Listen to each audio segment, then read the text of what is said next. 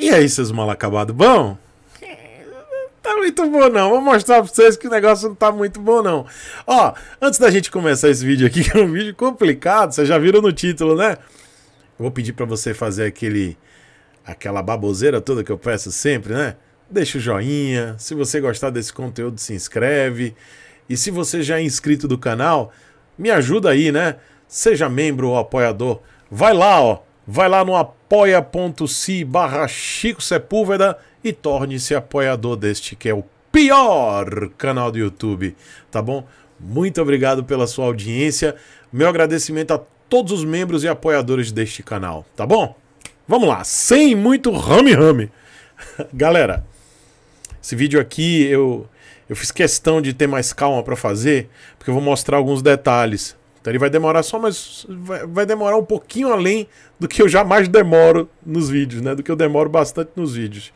Mas é um assunto muito importante para você que quer comprar uma moto Honda Yamaha e para vocês verem o absurdo que também acontece nas manutenções, né? Eu preciso que vocês lembrem que além do preço de aquisição das motos estar absurdo, a manutenção também aumentou. Então, na hora de você escolher uma moto, até mesmo de baixa cilindrada, você tem que avaliar o custo de manutenção dessa moto, mesmo que seja uma usada, tá? Isso não é só para moto zero não, para moto usada. Por mais que você pense assim, tá, mas eu não estou mais na garantia, mas o preço das peças está alto também. Então o custo para manter a moto também está alto. E eu fiz uma comparação, vocês viram no título, com uma marca que não é premium, mas geralmente, geralmente está 30% acima das binárias Honda e Yamaha, que é a Kawasaki, a nossa querida tartaruga ninja, né? Olha só, a Kawasaki tá mais, vocês vão ver, tá? Asa de frango Honda e o picolé de chuchu Yamaha botando para lascar em cima do peão brasileiro, do trabalhador brasileiro. Presta atenção, vamos lá. Olha só, Cadu que é um inscrito que eu tenho um carinho profundo. Ele é de Curitiba e ele trabalha com, como, como entregador, como motoboy, um dos trabalhos dele, tá? Ele estuda, ele tem lá a formação dele, mas ele complementa a renda como entregador. E ele tinha.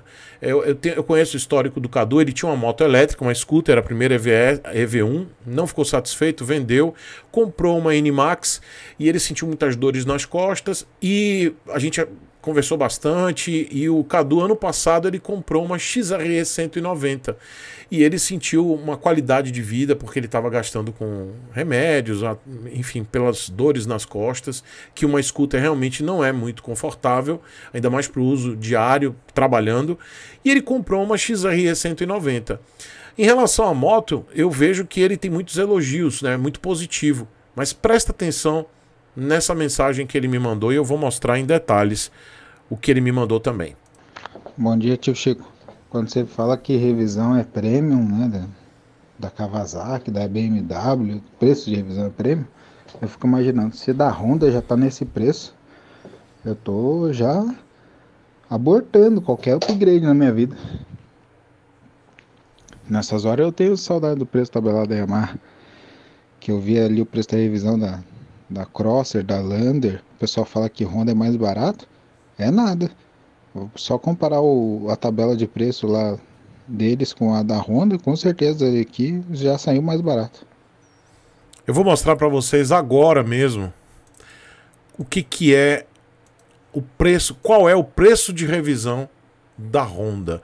Lembrando que a moto do Cadu, que é de Curitiba, ele fez a revisão na região metropolitana de Curitiba.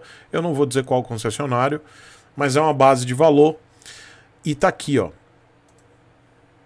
Presta atenção. Esse aqui é o. Essa foi a primeira. Não vou dizer que foi a primeira revisão, porque foi a revisão de 10.883 quilômetros.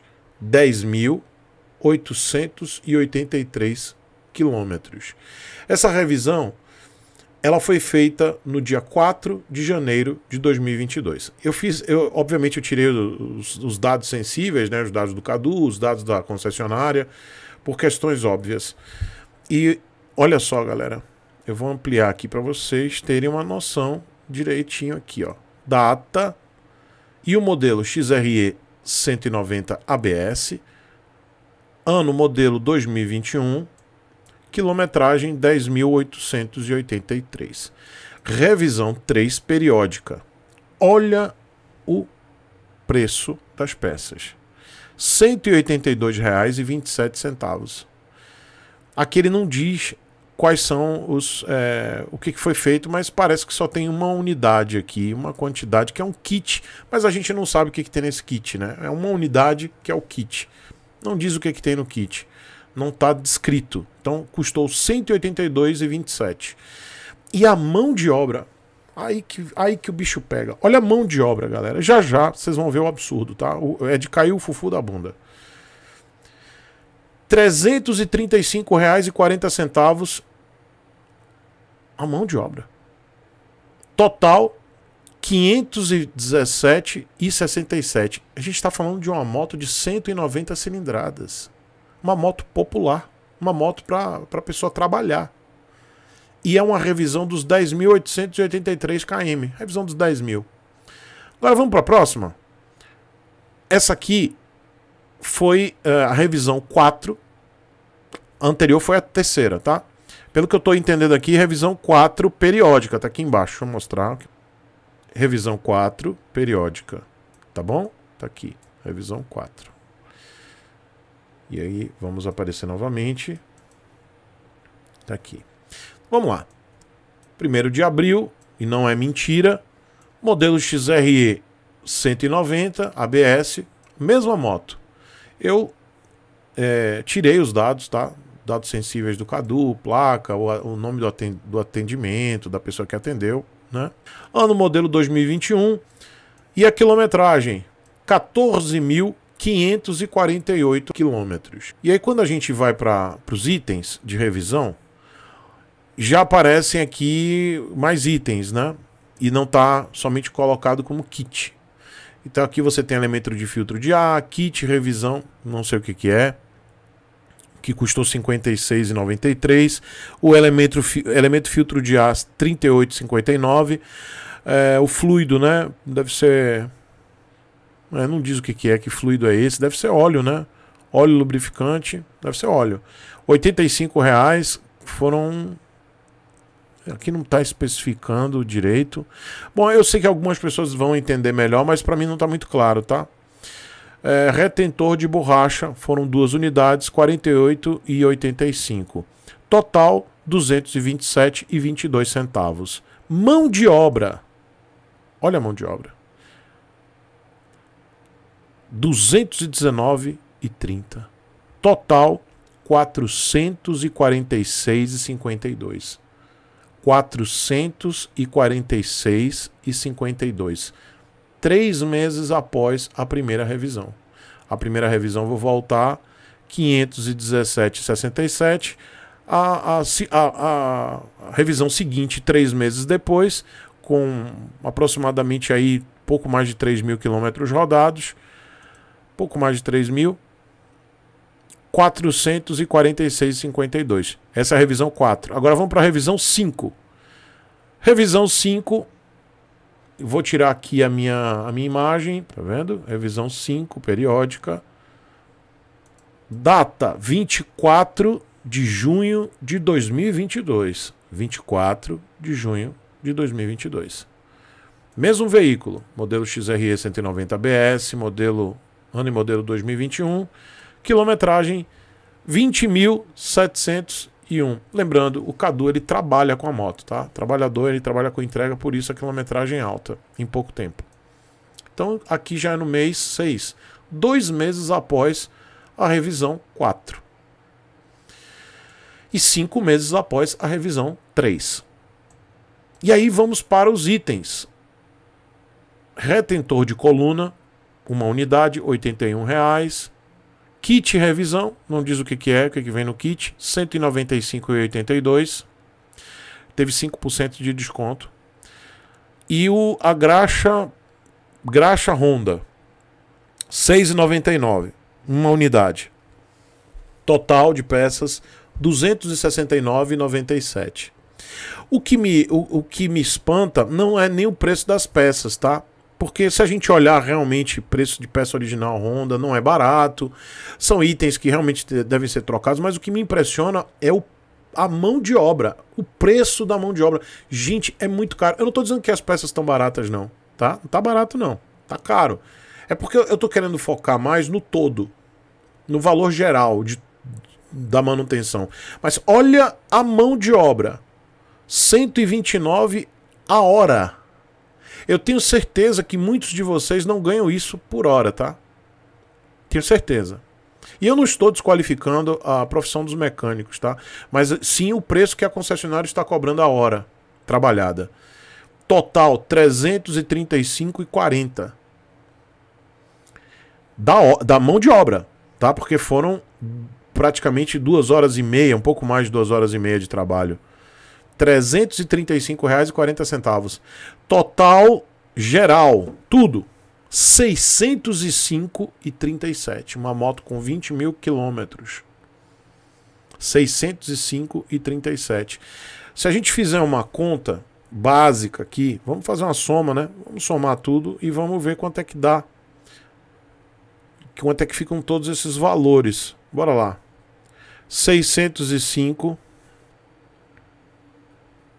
e 37 mais essa foi a revisão 5.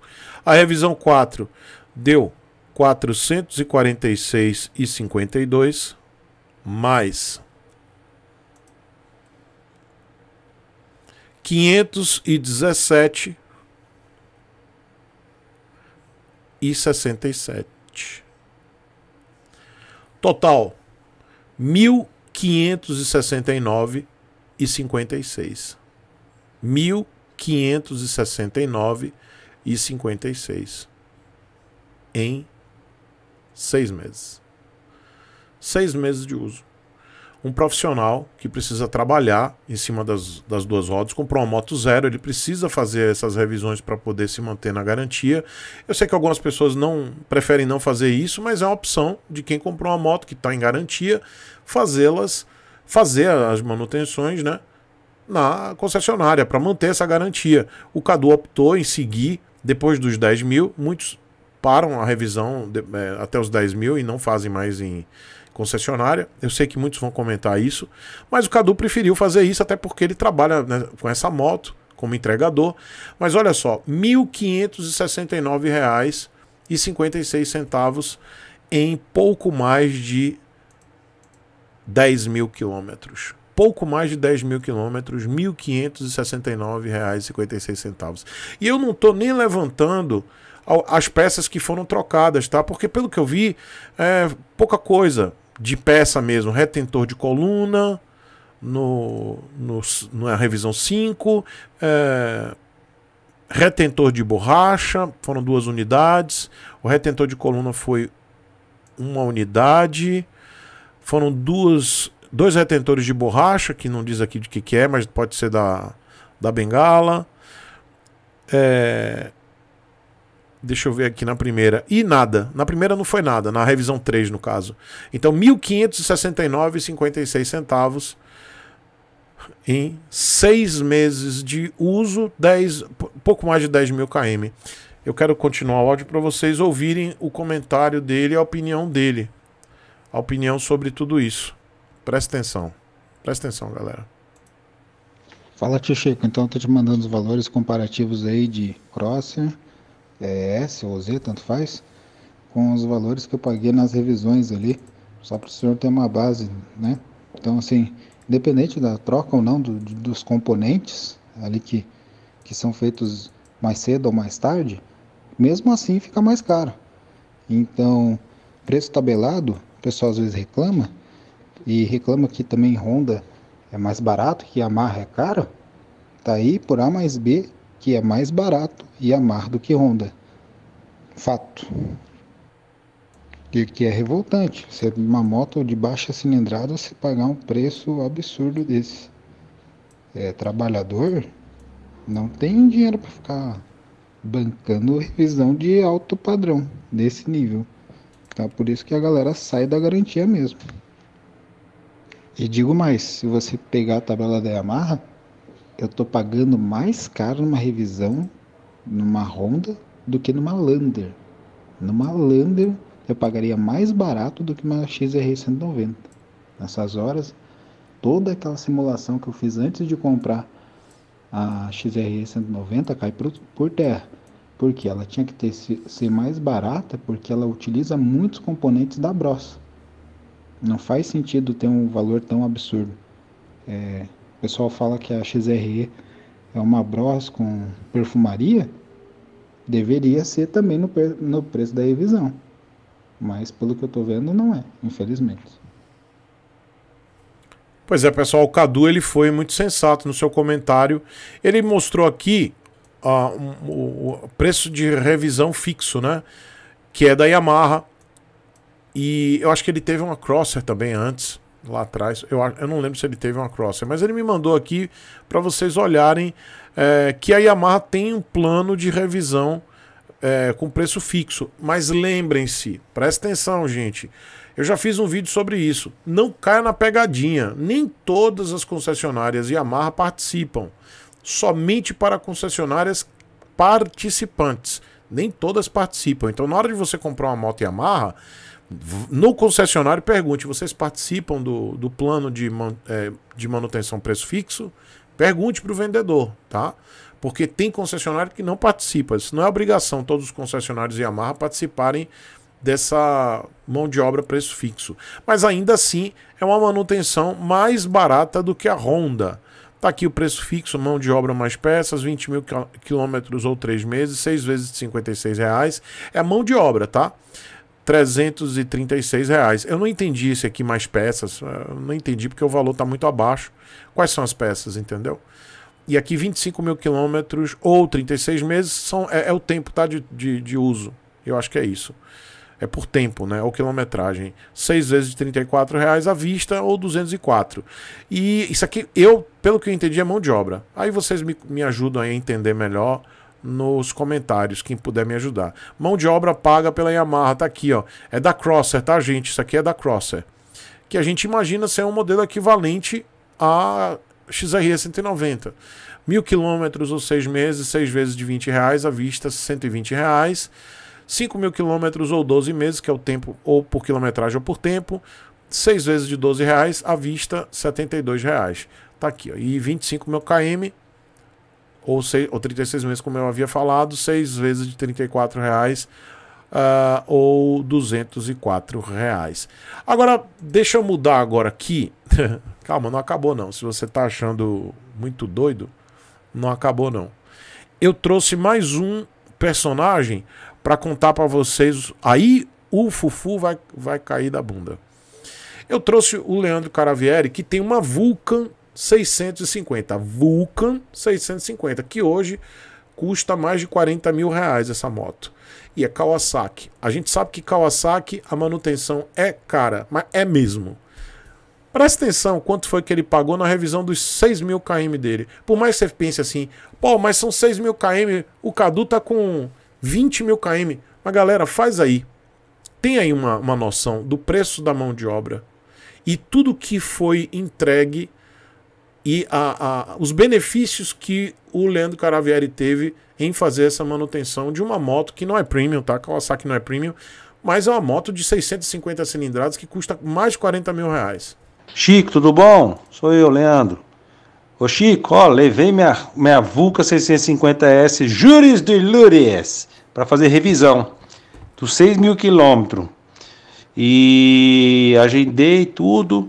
Fui lá fazer revisão hoje em São José do Rio Preto. É, o rapaz falou que ia ficar em 415 reais. Aí deixei lá tudo, minha Vulcan. E rapaz, olha, eu vou te falar, cheguei lá, fui muito bem atendido. Revisão, eles iam trocar óleo do motor, filtro, arruela de vedação, tudo, né? É, e aí ele perguntou para mim que, que, mais que eu queria que eu fizesse. Aí eu falei para ele, falei assim, não, você verifica os freios, aí eles verificaram os freios, aí verificar é, apertar é, os parafusos, fazer uma verificação, um check-up geral, colocou no, no computador, verificou a regulagem da moto, tudo, inclusive até a moto ficou mais econômica. Verificaram tudo isso daí.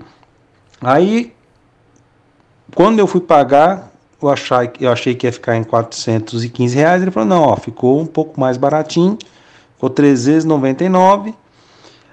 E rapaz, a mão de obra saiu justamente aqui em mais ou menos, deixa eu ver aqui, 180 reais a mão de obra.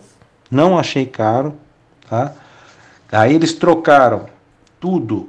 Aqui o óleo Motu ficou mais ou menos óleo Motu em 117 reais, 2 é, litros do óleo Motu, parece que, acho que foi isso, 2 litros, filtro de óleo, a arruela de vedação de alumínio, e tem um, um item aqui que custou baratinho, seis reais, um cupilha, não sei o que, que é isso aí.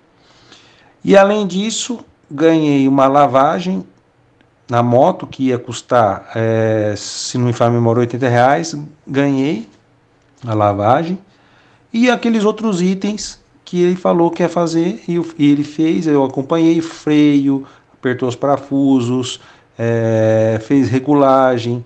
É, eu pedi para a moto ficar um pouco mais econômica, ele fez a regulagem da moto, tudo, tudo isso, tá bom? Sempre eu verificando, eu do lado, eu olhando tudo certinho que estava fazendo, tá jóia?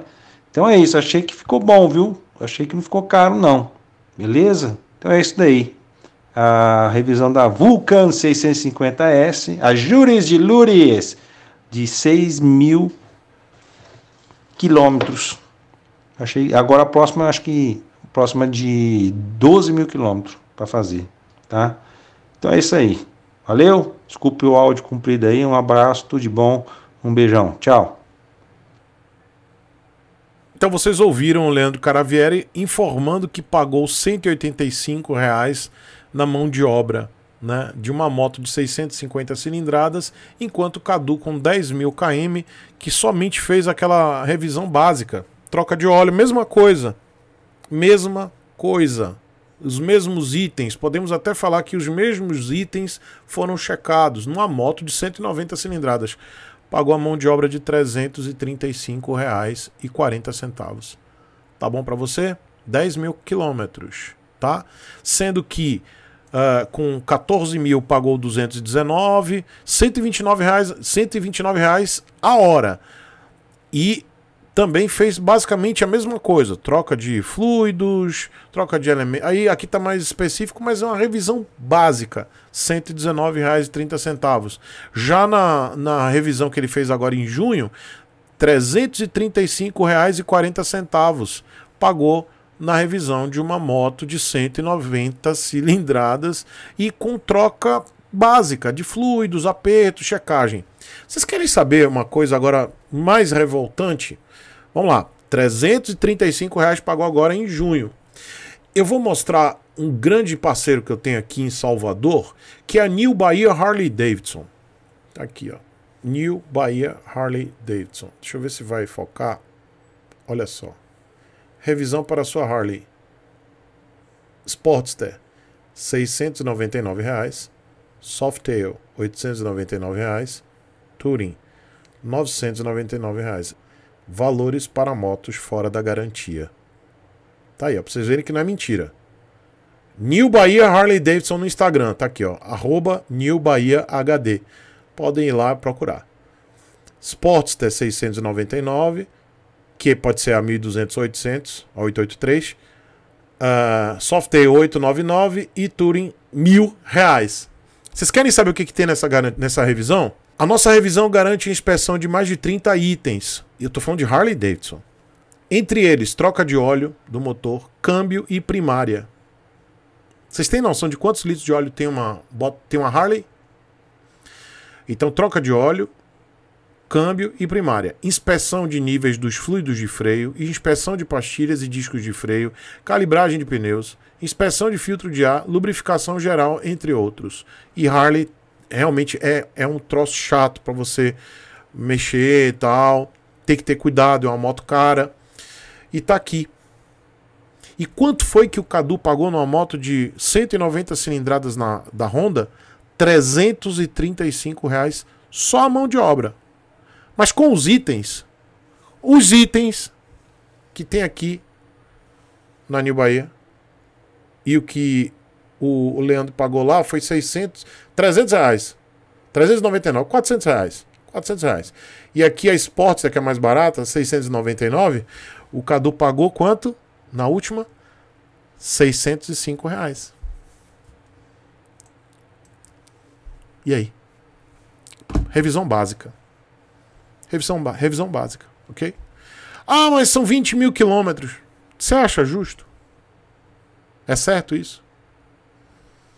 Vou deixar aí para vocês comentarem. Coloque aí nos comentários o que, que vocês acham, tá bom? Deixa o joinha se vocês gostarem. Se você gostou desse conteúdo, considere se inscrever. Se você já é membro e apoiador deste que é o pior canal do YouTube, meu agradecimento, meu carinho, muito obrigado. E se você gosta do meu trabalho, quer me ajudar a continuar fazendo esse trabalho aqui, para tentar abrir a mente das pessoas, vai lá no apoia.se barra Chico Sepúlveda, seja apoiador deste canal. Eu não preciso de nenhuma dessas marcas, Honda, Yamaha, eu não, eu não preciso bajulá-las para poder mostrar um conteúdo decente para vocês. E eu preciso mostrar isso para ver se as marcas elas melhoram. Eu não sou contra a Honda, Yamaha, nenhuma outra marca, mas eu fazendo a crítica, uma crítica construtiva como essa, quem sabe vocês abrem a mente e mudam o cenário e as marcas começam a entender que nós não vamos aceitar isso. Um beijo para vocês.